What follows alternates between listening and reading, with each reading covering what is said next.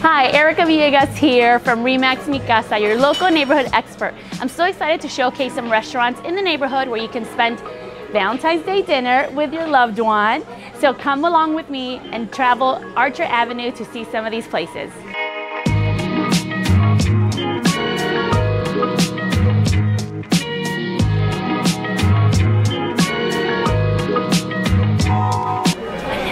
Excited that Maribel Guzman from the Federal Savings Bank has joined me today at Tequilas here on Archer and Lockwood. I think very authentic Mexican food. And this is one of the places where I first had my first wine social a few years ago. So, um, Maribel? I totally agree. One of the local favorites. Perfect for a date night. Cute little patio out in the back. Um, perfect homemade flour tortilla, just like abuelita used to make. So definitely one of our favorites.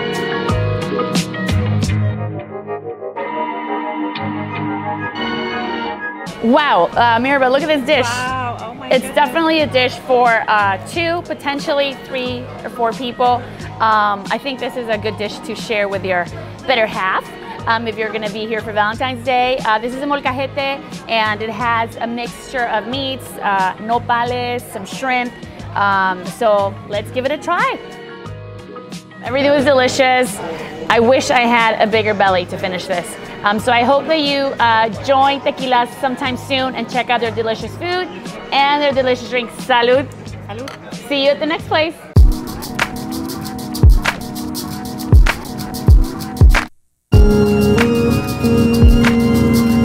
Hi, we're now at Danny's Neighborhood Pub. It's a great local restaurant. It's been in the neighborhood for a really long time, but they recently revamped the entire place. You need to come and check it out.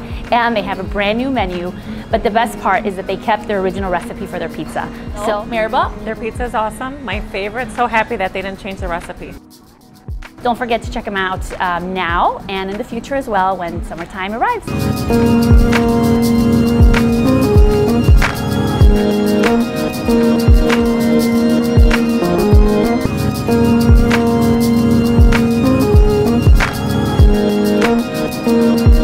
And no dinner is complete without dessert. So this is, like I mentioned before, the red velvet cheesecake. It's your dessert of the month. Uh, it looks super luscious and rich, and who doesn't love Red velvet. red velvet and cheesecake? So let's dig in. That was delicious. That really was. We had an awesome meal, and uh, here are our drinks. Ooh.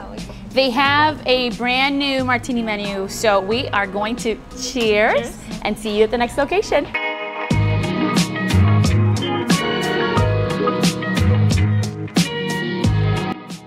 Another great pizza place, a Home Run Inn, Chicago staple. Been coming here for years, so glad they came to the neighborhood.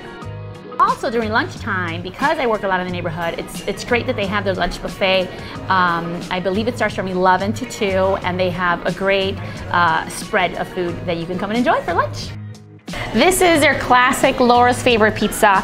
It is the owner's favorite pizza. It has fresh plum tomatoes, garlic, fresh spinach. So we're gonna dive into this one. But before that, they also have their heart-shaped pizza um, available for the month of February, so you can come celebrate and bring your sweetie pie.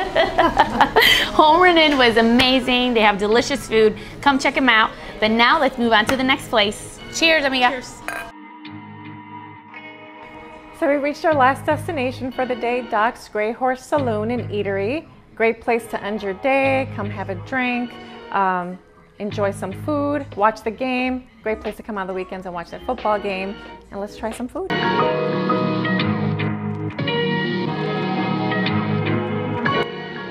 Thanks for joining me in this latest episode of On the Move in 60638. I hope you enjoy some of these great restaurants in the month of February or with your loved one on Valentine's Day. I hope to see you guys around. Cheers. Saloon and Eatery. Tour of. You're just testing right now. Yeah, yeah. just Feature Richard. Focus. Say sorry, sorry. Starting here. Nope. Thanks for joining me again in On the Move in 60638, checking out some great local neighborhood restaurants where you can enjoy Valentine's Day dinner, but also a lot of great dinners throughout the year. So don't forget to like, share, and comment the video below, and I'll see you around the neighborhood.